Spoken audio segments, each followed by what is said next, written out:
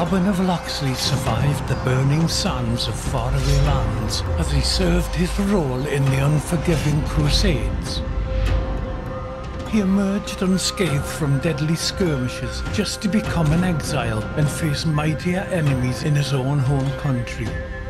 After his previous hideout in Silwich, which was razed to the ground, the forests of Sherwood granted refuge to him and his retinue, while its new rulers threatened all.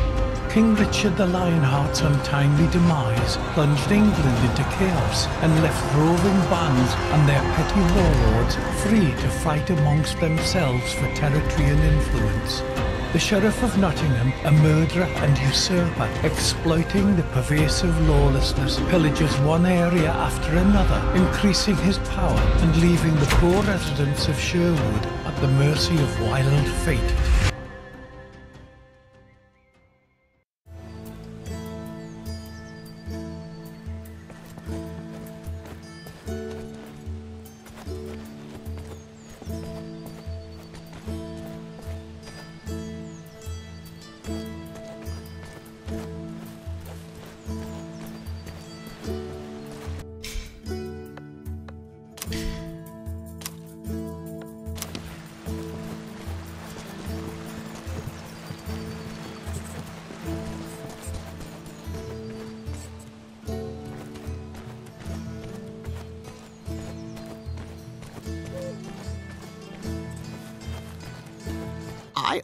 Worry when you're away from home for long, Robin.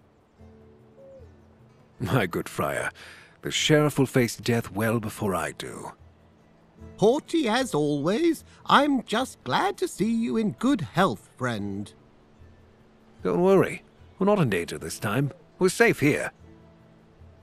Nothing I can do after the nightmare that the Crown's men brought on us and our old home. This time they won't run into us. We're well hidden. I saw to that. The previous settlement was so goodly. I know you all too well, you crafty fox. I'm aware you're scheming to fight back. What matters is everyone made it out alive. After I defeated Black Henry and freed Marion, the sheriff completely lost his composure. I must stop the enemy before he becomes too powerful. The enemies, the king and sheriff, don't stop at their own henchmen. You constantly hear about ever more scoundrels plaguing the surroundings of Nottingham. King's allies grow in numbers. Some are bought with land assignment, others threatened with death and confiscations. We must weaken the grip of the king and the sheriff if we are to feel safe here. Definitely, Robin. Recently, Little John had his shirt cut. We can't take risks like that. He'll recover. You know him. We each have our crosses to bear. You say so yourself. Well said. You may be right. This settlement seems secure. This time no one will find us. Time to let an arrow loose right into the beast's heart. I believe you, dear Robin, but before you do that, you must regain your strength. Setting up a new village is exhausting work. Eat something, have a drink, rest in your home. We'll talk later.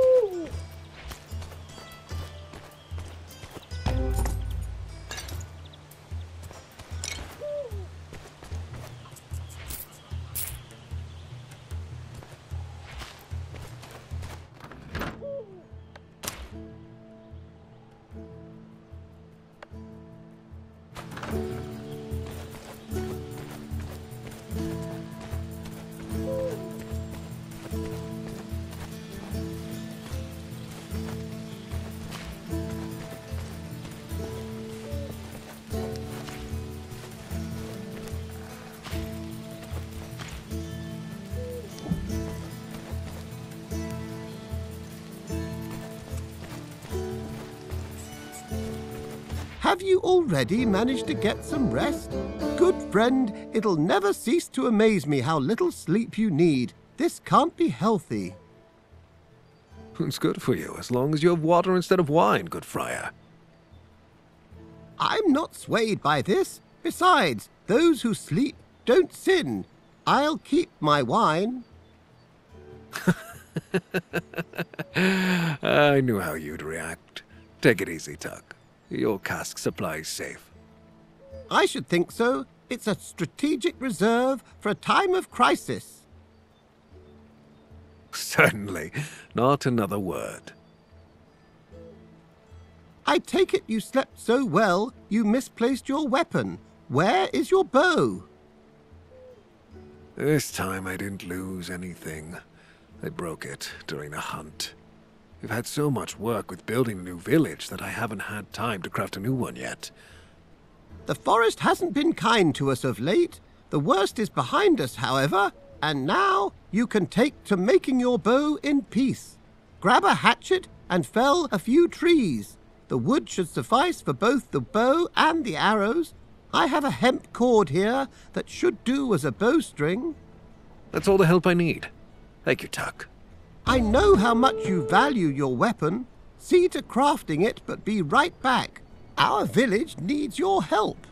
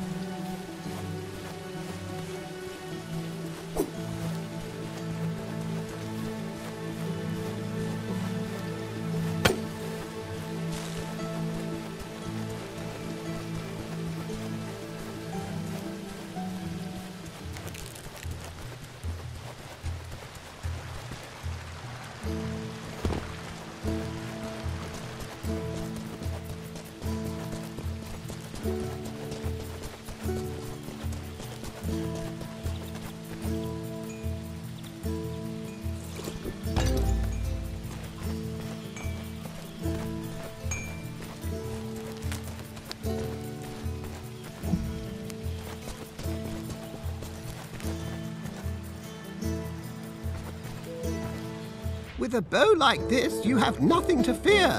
Unless you get on Marion's bad side again by telling her to cook for you. Even the purest steel and holy water wouldn't help you then. Time's long past. We've explained things to each other and agreed I wouldn't make this mistake again. uh, speaking of whom, have you seen her anywhere? Be at ease. This time no one lured her into a trap. She left to help the locals. She'll be back sooner or later. That sounds like her. You said you could use my help here? Yes, there are many things we need. Food, most of them all. A better archer couldn't be found in all of Sherwood. Before you set off to take from the rich, perhaps you could use your skills to aid us. I'll gladly try out the new bow. Stoke the fire. We're having a roast tonight. I'll leave the meat in storage. Everyone in the village is working so intensely, a small feast should lift their spirits.